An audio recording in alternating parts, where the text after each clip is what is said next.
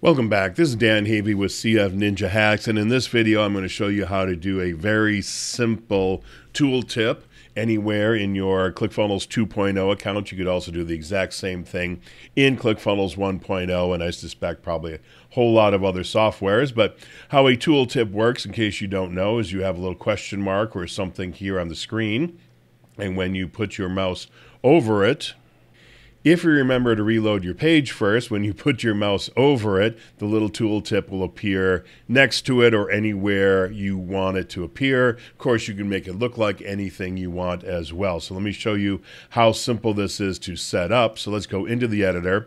The first thing we're going to do is we're just going to add in a text element.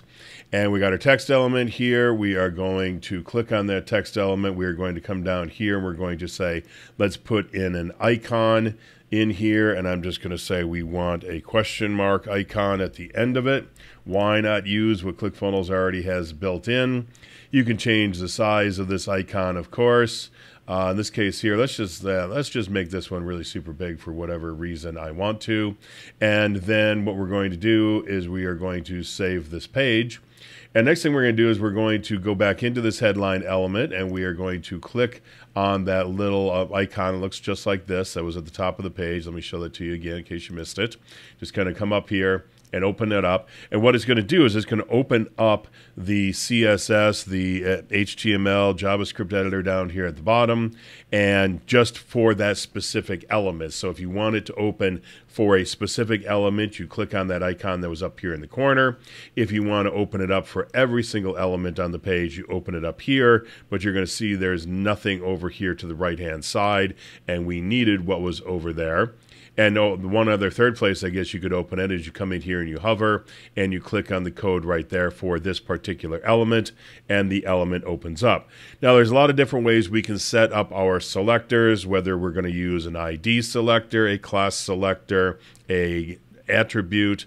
Um, there's different ways we can do it, but in this case here, just for simplicity's sake, we're going to click on here and say generate an ID and what that'll do is it'll generate an ID for you. If you then click on the little copy button there and come over here to the left hand side, we can just paste that in. And now we have a, essentially the same thing as the one below here. This uh, ID selector down here is for the first element on the page. So what we're going to do from now on, we're going to look at the top element on the page because I already have that one set up. So let's just take this out of here Let's just delete that. And in fact, we can even take out this element completely. We are not going to need it. And so again, let's click Save. So now again, let's go back into our code. And well, before we go back into the code, let's go look at our tooltip over here and see what this thing really looks like. So what we want to do is we want to come in and we want to inspect this element. A lot of times you just come in and right click on inspect, or you come over here, click on the square with the arrow pointing into it, and you'll have the same effect. If we click on this, we come over here, we then click on the question mark, and it should open us up right here about at this level where it says the I. So here is our headline element. Here is that ID that we generated. This one, obviously, for the first one, not the second one that I deleted. So that's the ID that we generated. And inside of this headline, then we come down to our icon at the end and is signified by the tag of I. It also says data page element of icon node. And then down here, because this is a font awesome font, it will have something in this, this case here, it says FA question circle. Depending on which of the font awesome fonts you use, wherever you see FA in here, that refers to font awesome. Depending on which one you use, it will have different names describing each one of the particular icons. And then below that, here you have a before and we'll click on the before and let me close this up for right now. And right now it says here our content for FA question circle colon before is slash F059. That is what's referred to as the Unicode for that particular icon. So now what we want to do is we want to say, all right, well, when we hover over this icon, technically the I here, when we hover over this I part here, we want that uh, that tooltip to pop up. But one thing we want to do right before that is we want to say um, what I had right here is um, I just wanted to push it up a little bit. So it was level. Otherwise, I said let's move this. Uh, let's move that question mark up five pixels. So that's what I set up right here. I said take the uh, take that ID that we had and then we had the I for the icon, and then you saw where we had the before, where we had the Unicode in there, and I said, give me a position of relative and a top then of minus five pixels. So I tried doing uh, margin top of minus five pixels. That would not work at all. I found that I had to use actual positioning. And so I used relative positioning. So I'm saying position this element relative to where it started and relative to where it started, I wanted to the, the, top of it to go up negative five pixels. So anytime you're going up on top, it is negative and is five pixels up. And uh, so I put the important in there just in case I don't think I needed it to be honest with you. And so that pushed that up five pixels, and that's why it looks like it does right here on the page. And if, again, if I were to take this out, you can see it just uh, drop back down, but we will put that back in. Okay, so now the next thing I have to say is, okay, now when somebody comes in here and hovers over this, what do we want to happen? So I'm going to open up the CSS a little bit wider here so we can see it. And what we want to do is we have to do all of this, and this isn't really that terribly complicated, because what we're saying here exactly the same thing is we're going to take that same icon element. So we got our ID followed by the I signifying that icon. And when we say, when we hover over it, we want to actually create what is known as a pseudo element on the page. So up here we had our before pseudo element. Here we have an after pseudo element.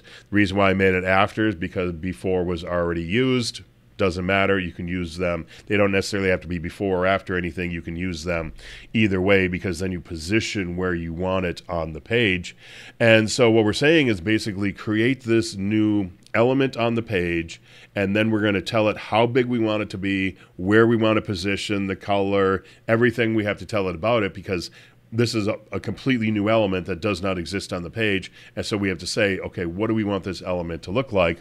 And so the first thing we're going to say is this is the content that we want. So now let's say you had a whole bunch of these headlines here, and at the end of each one, you wanted to put in a question mark with a tooltip. You can do that, but you're going to have to do this right here for every single one of those tooltips you put in because you have to give it the words that you want to appear inside of each one. So you could, using some variables, you could do it slightly differently, um, I think, or well, that'd be about the only way I can think of. Uh, but pretty much you just, you know, copy and paste this a whole bunch of times, put in your different content for each one, and that's the simplest way to do this, to build it as a tooltip. I guess we could build it other ways where we actually put an element on the page and then we hovered. We could actually grab that element and place it on the page. In fact, maybe I'll shoot a video on that afterwards because that would be kind of cool. But either way, then we have to say we need this thing to be positioned absolutely. Okay, so absolute positioning means we are going to position it absolutely within its bounding element.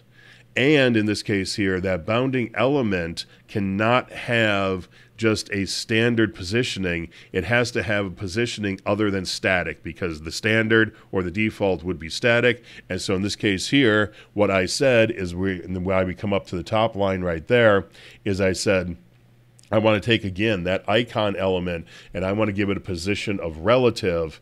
And then the after, I'm going to position that absolutely inside of there. And absolutely means I'm going to say exactly where I want it placed relative to that icon element. So we got the after element, we got the icon element, and by saying absolute position, I'm saying I wanted absolutely positioned right here relative to this icon that was sitting next to it. And so that's what the top of 18 means. It means move it up 18 pixels, and the right of minus 171 means that move it to the right 171 pixels. You could, of course, use left or bottom. Those are also um, two different properties you could use in conjunction with your positioning. Then I just arbitrarily set up a box of 165 pixels on width. I gave it some boarding. Uh, boarding, padding. I gave it color, font weight, font size, border, border radius, color, and then a Z index of nine just to bring it out in front, make sure it's in front of everything else. Z index of one is what everything else on the page should have, unless it's set otherwise. So Z index of nine would bring that to the front. So it's going to be uh, proud of everything else. And so that's really it for this element. Uh, like I said, it looks a little fancy, but you basically have to completely rebuild the entire element from scratch with all of its CSS to be able to get to see it on the page. And I do believe that's everything we needed to look at on this, except to go over here and take a look at it again. And so, like I said, for every one of these you want to build, you're going to have to go through, copy and paste this. Obviously, for each one of these elements as you create them, you're going to create an ID like I did earlier in the video. Make sure you grab that ID, swap it out for what you have here at the beginning, change out your content. You may want to change the shape, shape or size or positioning of the element as well. But the nice thing about how this worked out now is no matter what width I have on the screen, uh, let me see here, let me try to narrow this down some. No matter what width I have on the screen, it's going to stay in the same place. We'll just move this around a little bit. So it's always going to stay perfectly positioned right to the right hand side of that question mark. And again, of course, you can position it anywhere you want by changing what you have in here for your top and your right. So that is it for this video. If you have any questions, just let me know.